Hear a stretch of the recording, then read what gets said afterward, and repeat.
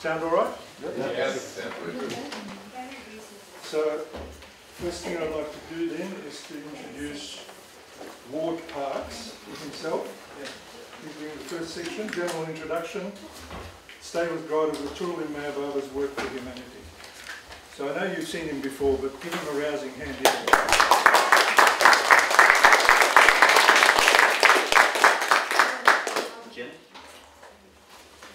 Jai Baba everyone, and welcome to the beginning of the study and celebration of Stay with God.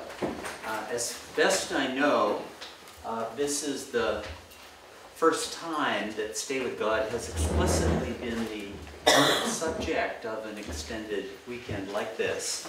And one thing that is really apparent to me is that in three days, we can do a little more than open the cover to the book. As a former professor, I can really say it would take a semester. Um, so reserve next year, six months, for a full semester study of it. I, we uh, did find on some of our Friday sessions the last two weeks that a single stanza uh, can occupy, uh, you know, one for an extended period because the poem is so rich. But this will be a start. Part of the idea of this weekend was to not just talk about Stay with God, though we're going to be doing a good bit of that today and tomorrow, um, but there are actually three interwoven elements. One is to read it aloud, which we did yesterday, for all but one portion of it. Uh, from yesterday's experience, um, it seems that to read the whole thing would take about seven and a quarter hours, if ever you want to do that in the future. And by the way, I had a number of comments from people about how uh, good the reading was. It was really quite excellent. I found it to be a wonderful experience um, to hear it read out, even though I've read it so many times myself. Well, that's one element. Another element in this is to study, examine it from different points of view. And a third would be just to celebrate it in different ways. We're going to have some musical performances from it and a discussion of some of the artistic expression of it. All of this seems quite appropriate to Francis, who was something of a polymath in the arts. He was not just a poet, but had been a painter and musician and had an extraordinarily, extraordinary breadth of engagement uh, with culture uh, in so many ways, Eastern and Western both. The program, I'm just going to have it up here. Um, just to look at uh, what's upcoming. Um, we have four sessions, morning, afternoon, on two days. And in terms of the uh, just sort of the analysis and uh, discussion of it, um, those parts of the program relating to that, this was the concept. This morning we're going to be uh, have presentations that will look at um, uh, Stay with God in an overview way, an introductory way. Uh, this afternoon there'll be a series of presentations that will talk about the individual books, say something about each one particularly. On us, whoops, I keep doing that instead of that. On Sunday in the morning, uh, we're going to uh, look at some of the illusions and backgrounds. Um, anyone who has read Stay with God would be acquainted with the fact that there's an enormous amount of reference in it.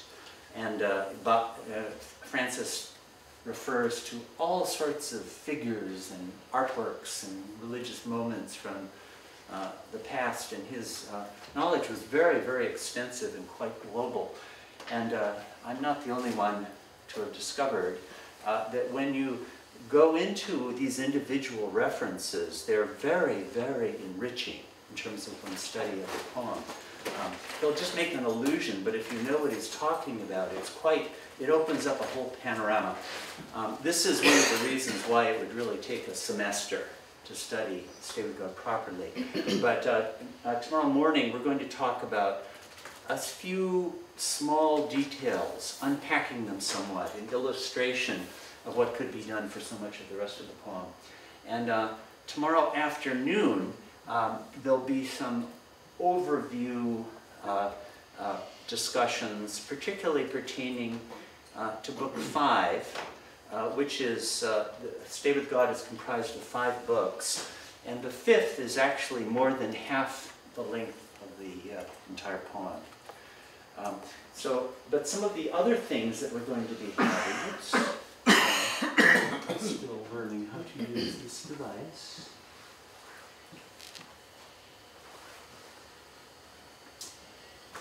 Okay. Um, So this morning, after my general remarks, Ross is going to be talking about the biographical background and some of the cultural, poetic environments out of which Francis himself uh, came. And then Geoff is going to be introducing the overall structure of Stay With God, the theme and its development in five books. Um, And then Lorraine, Susie, Steve, and Amir will be uh, giving a musical expression, not Amir? Okay, I You will be with us in spirit. in spirit, a musical expression of some material from Stay With God, which actually Lorraine did at Meherabad last year. This afternoon, the first uh, four presentations will be on books one, two, three, and four. I wanted to be sure we didn't neglect looking at the specific um, aim of each book. Francis's conception is quite vast and quite amazing. And uh, uh, and then after that, we'll have a, uh, a, a musical rendering from book four, which was discussed by Geoff just before then, The Steps to His Feet. Of course, you all know Sam, who departed and went to his beloved uh, just three months ago. One of his comparatively late compositions was putting the first five stanzas from The Steps to His Feet into musical form which we will render having practiced to perfection in the last several weeks. And then Peter will be talking about archetypal feminine in the of God, a very specific theme. Uh, tomorrow morning, Ken will be uh, unpacking some of the Chinese cultural references in uh, Stay with God, looking at what some of those backgrounds are. And uh, John Perry will be uh, talking about the not about studying within Stay with God itself, but the artistic expression of it. And uh, may I refer here to the fact that you are in a exhibition hall at this very moment. And uh, when you have time, um, to, you know, to look at some of the, the wonderful paintings we have on the walls. Uh, this was prepared for this very event. And then um, John uh, and Jacob will do a performative, dramatic rendering of some material uh, from Stay with God. And then um, Geoff and Michael. Michael's going to be talking about um, uh, a, a particular reference that's actually a very significant one to the three heralds of the new Advent. And Geoff is going to be giving a, a relevant uh, a introduction to a relevant topic of the perennial philosophy.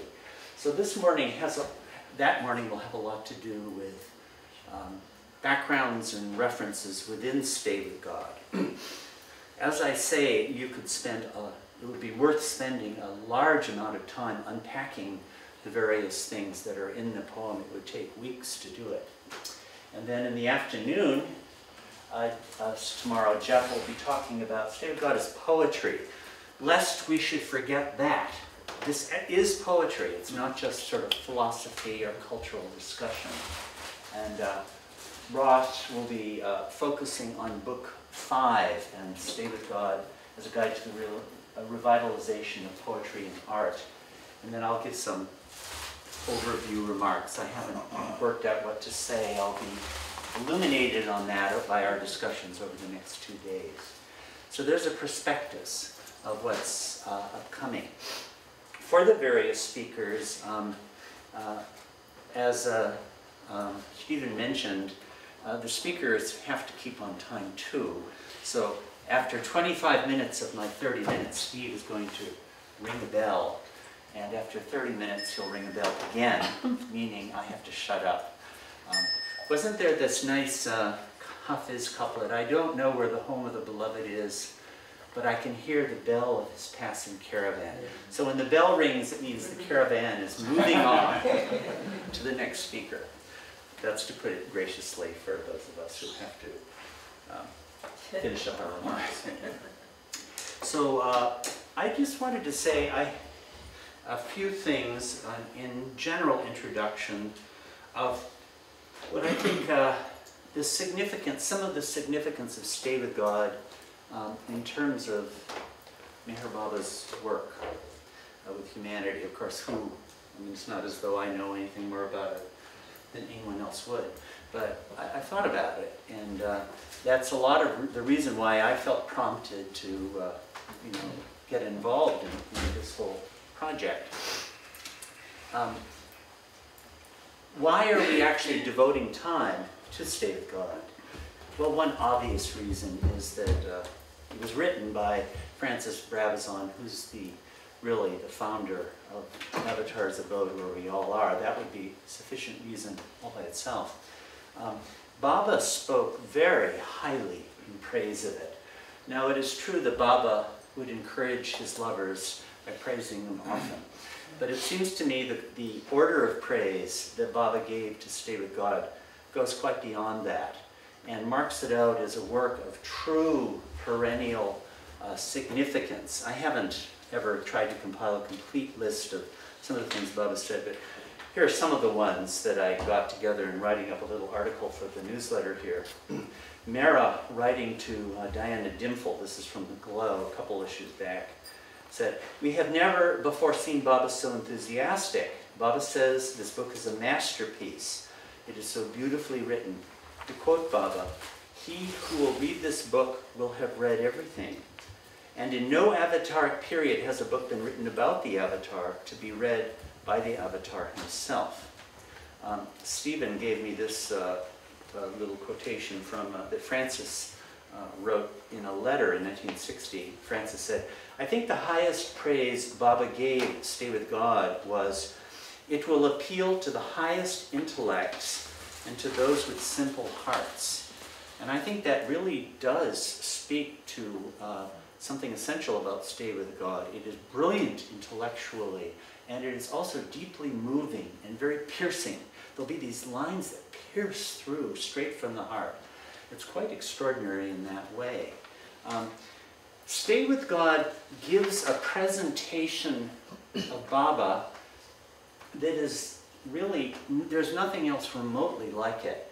That was 50 years ago, but 50 years later, we have a very extensive library of books about Meher Baba, and there's nothing even approaching it. I'm not disparaging other works, but in the vastness of the conception of who Baba is, the epic conception, um, situating Baba in an enormous cultural, historical setting, um, and the poetic beauty uh, of uh, so much of it. By the way, can you all hear me? Or am I speaking on the back row? Wonderful. Okay, good. Um, it's quite without any parallel even today, and it's hard to imagine anytime soon a similar such work having been created. So all those would be good reasons for devoting a weekend to it all by themselves. But um, beyond that, and this is particularly what I wanted to get to uh, this morning, I think that uh, Stay With God is really going to play a huge role in the creation of a new culture uh, around the avatar of the age. I don't, it seems to me that the role of the avatar himself, as opposed to through his lovers, is not to create a culture, is not to provide his own commentary, so to speak, but it's really the role of his lovers and the civilization that comes after. And it seems to me that Baba gave Francis a very unique platform that really no one else around him had in that respect. Now, okay, what is, and also I think that this question is going to be coming up now um, in a much more explicit way than it has in the past for the reason that the Mandali era has ended and a lot of things I think are going to change in that respect. Um, and okay, what is culture to begin with? I would say, define it as values assimilated into life, both individually and collectively. The highbrow view of culture that it's something that the literati and artists and snobby people um, spend their time doing, I'm a little facetious, but not too, is uh, not adequate at all. Actually, uh, its values assimilated to life in all aspects. And uh, a lot of what Francis has to say, um, I'll just read a little bit, some of these things. It's very clear that when he talks about art, he's referring to poetry, art, music, those things. But not just that at all. It's the assimilation of the higher values of God into art and the direct revelation of those higher values through the avatar and the perfect master himself. So right at the start, oops, I went one too far. Let me go back. Of uh, book five, where he talks about these things. Um, once men sang purely in the work of their hands, in the speech of their mouths. They knew that the Avatar and the perfect masters were the only God on the earth, and that the saints were the doors to him. By God men lived, and his name wrought their works. They went not out to labor, nor sat down to meat, without song attending. The leftover scraps from their singing we have gathered into our galleries and libraries to worship or stare at. This is so characteristic of Francis. Now, that this last uh, sentence describes what culture becomes, what high culture becomes when it is alienated from life in general. But in truth, um, art and culture in the highest sense is present to everything that we do. Like when you uh, clean a room, or when you cook a meal, or when you, uh, you know, do a business transaction, um, or, or heal a patient in a medical practice, or all the various things that they do.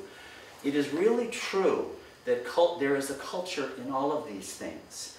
And the avataric transformation will extend to all aspects of life.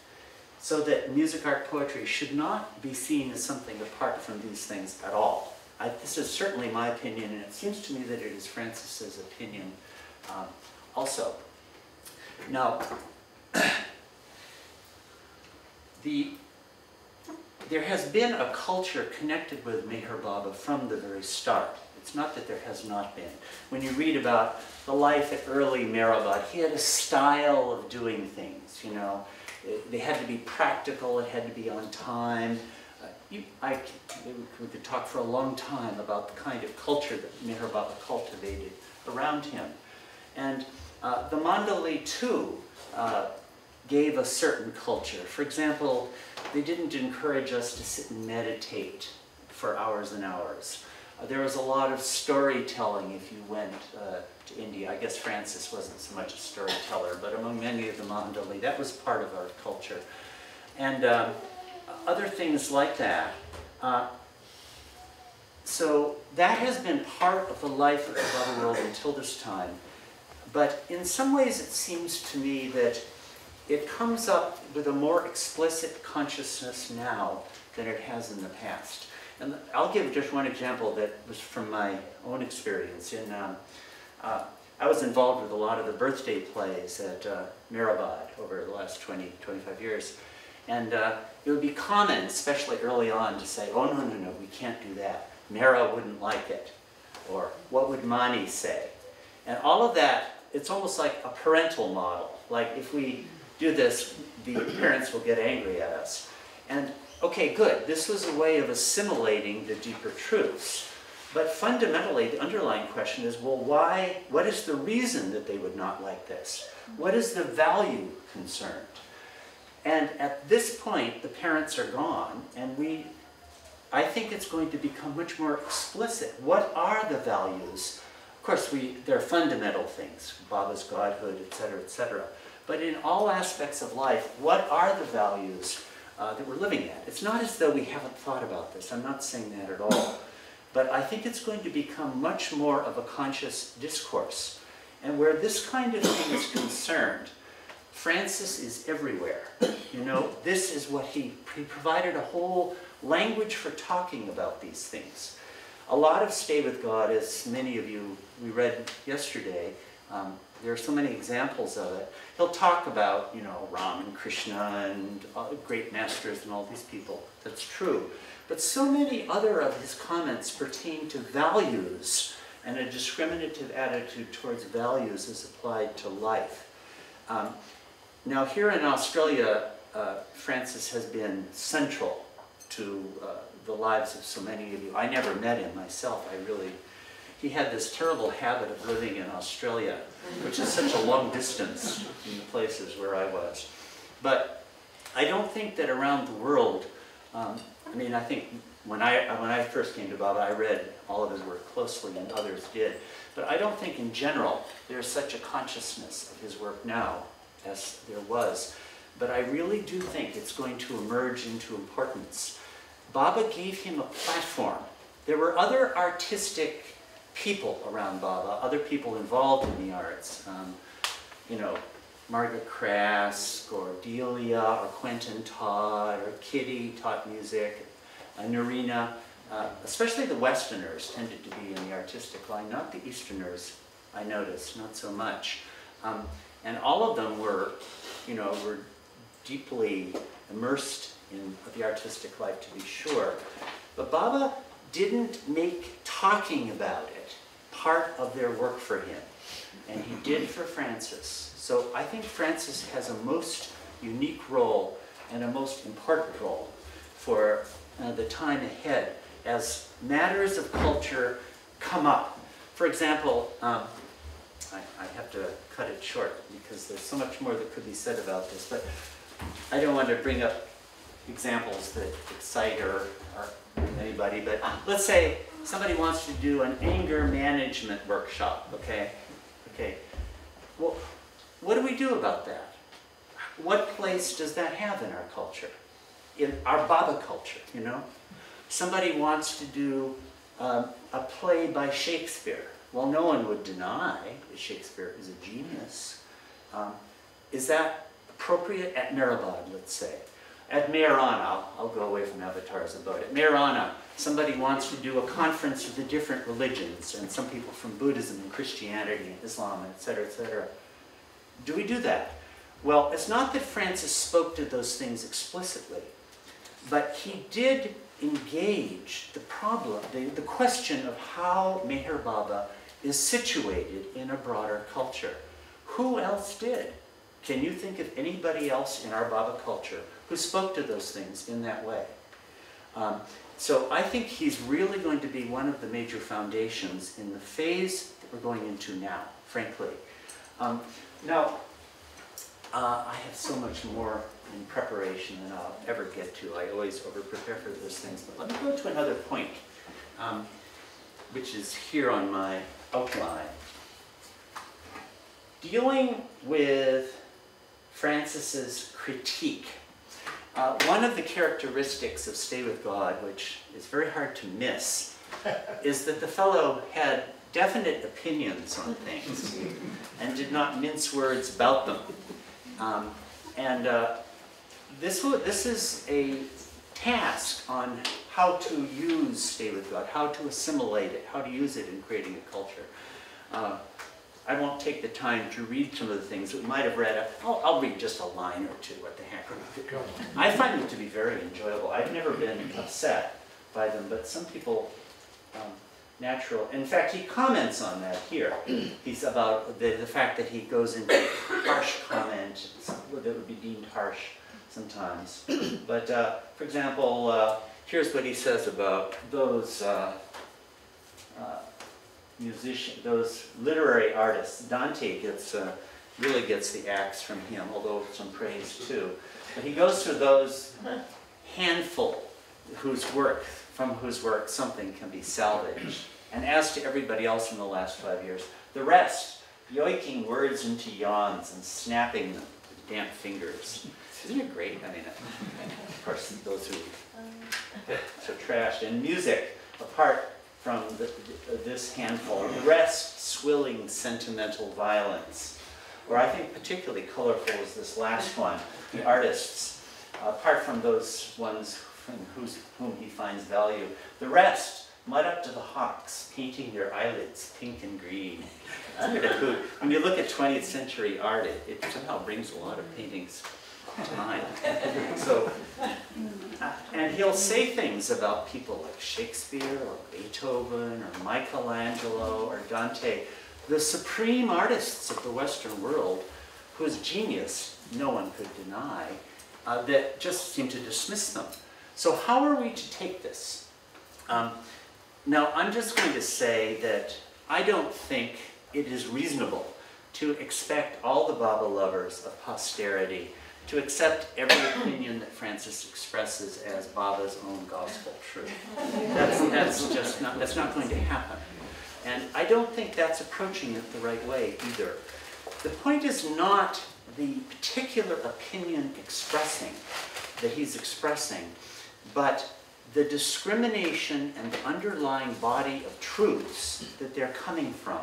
Because even some of his most outrageous opinions, I do find have some real point behind them. And even though you may reject that opinion, he really is talking about something quite real. I think that's almost always, I would say always true. I don't really, even people where I think, hey, wait a second, Francis, you're not doing justice to this guy by a long shot. That doesn't ultimately matter. And I don't think we have to get stuck on that in the future. He identified, or Baba gave him, the standard on basis of which culture should be con constructed in the aftermath of this advent. And the standard is stay with God. Now, in the modern world, in the, among the intelligentsia, where I spent much of my life, God is a dirty word. You know, you don't even bring up God. You're, I would never have mentioned God in a positive frame of mind in any article that I ever wanted to get published back in those days.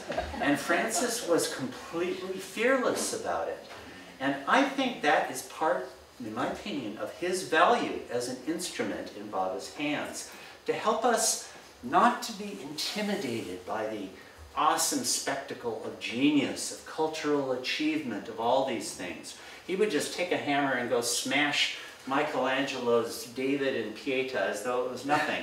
And it's not that we have to do that, but we have our own revelation to be true to, not all this stuff.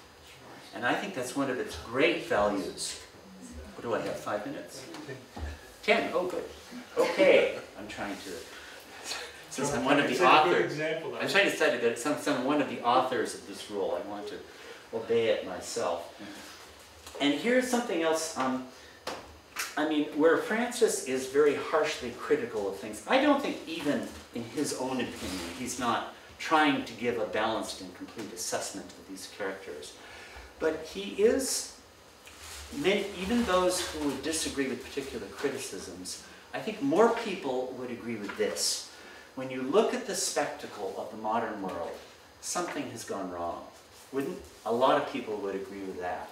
We say stay with God, would you say that that characterizes modern civilization, that everyone is staying with God all the time and focused? I mean, obviously not. What did go wrong? And I mean, a common response in the world would be to say this political party or that political party. It's deeper than that. It has to do with something that's gone on for a long time. And that is really what Francis is trying to identify.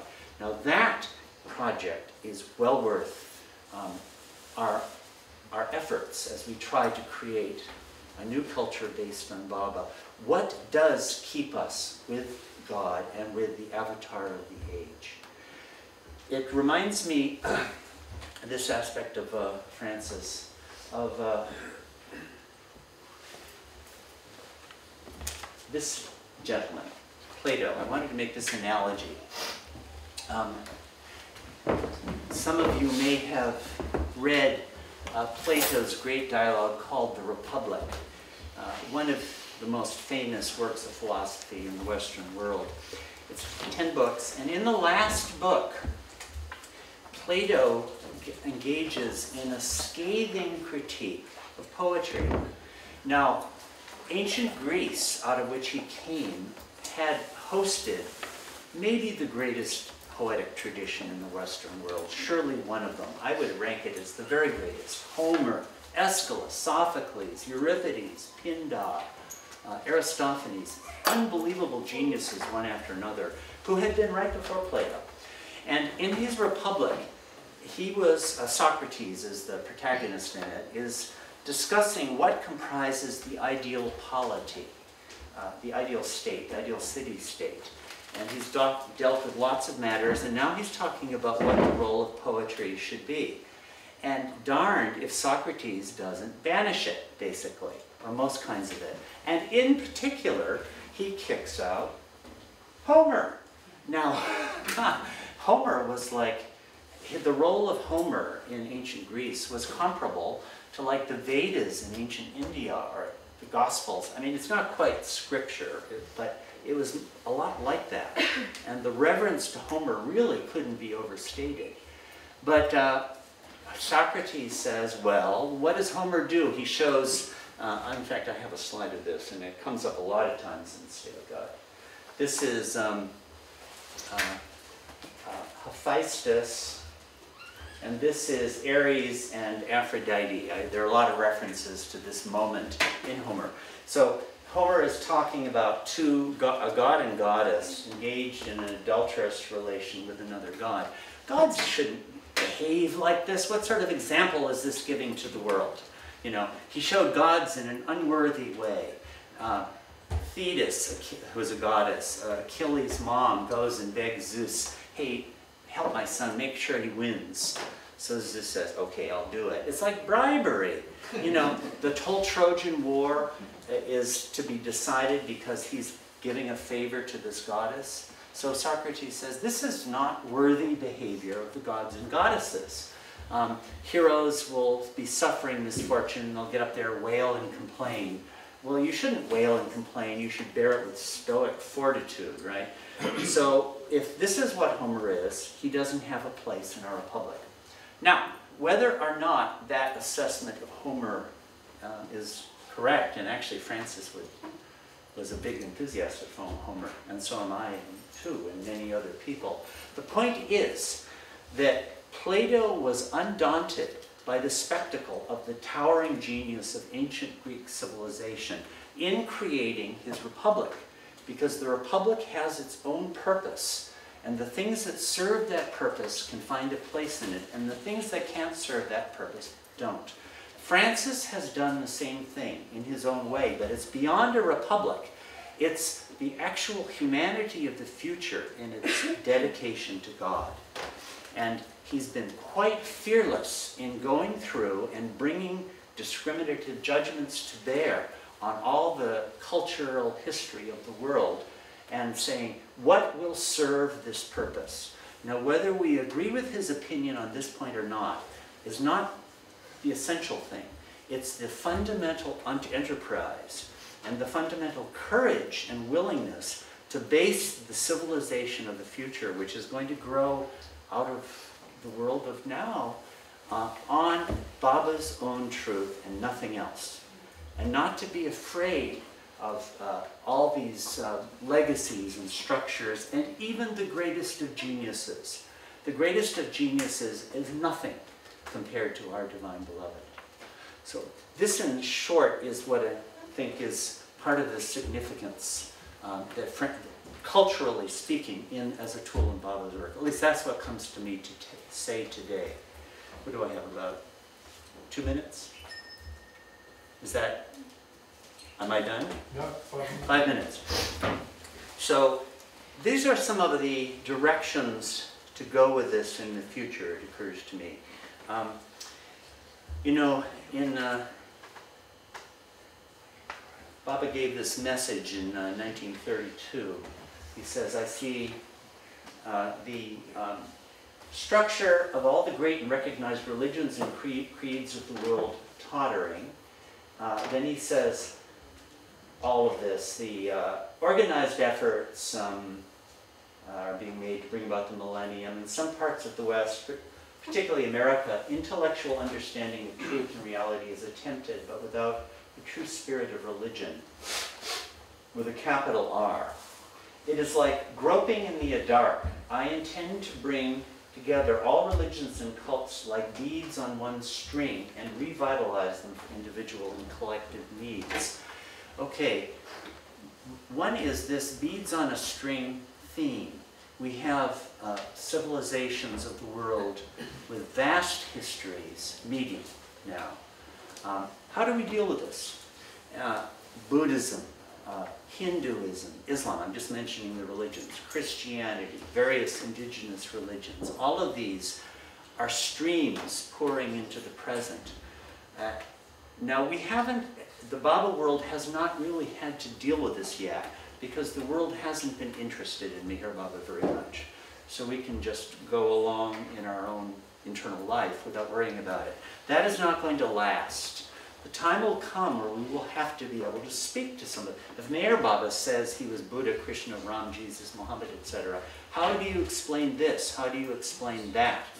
There will be a need to be able to speak to the greater world. And again, Francis Brabazon is a major foundation for our dealing with this. Baba himself would say, I was Buddha, I was Muhammad. Well, write those too. I mean, the Buddhists and, or let's say Jesus and Muhammad, I mean, they would be far from willing docilely to fall in line with such a proposition on Baba's part. Did Baba explain it? No. Why should he? He is. He is that. It's not his job to justify.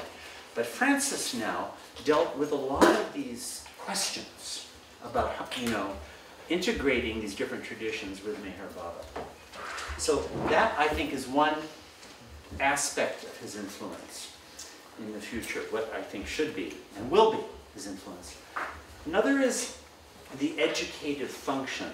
In the future, there will be a natural interest and a natural need to find ways of transmitting some of the legacy of this avataric advent to the young, to people coming to Baba who haven't been with Baba before. Um, what in fact will be part, what will be programs like this? What will their subjects be, you know?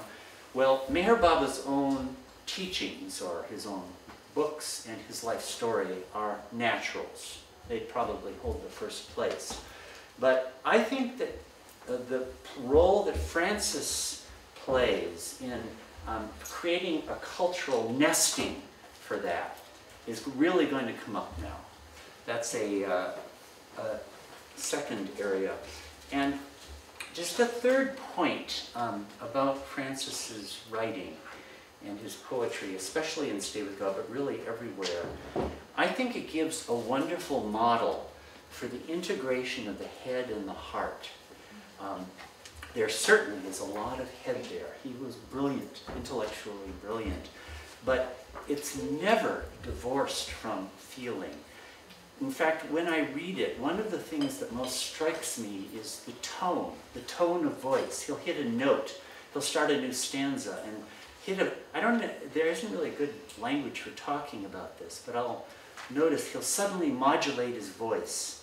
Uh, he'll suddenly go into Aussie slang, or uh, suddenly it'll be a, a passionate appeal um, that will arise out of this.